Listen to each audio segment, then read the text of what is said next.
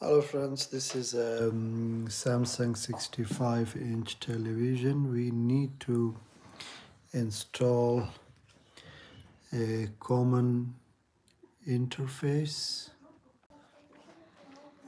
So what we're gonna do, we're gonna take that common interface that off we have got this common interface 5 volt.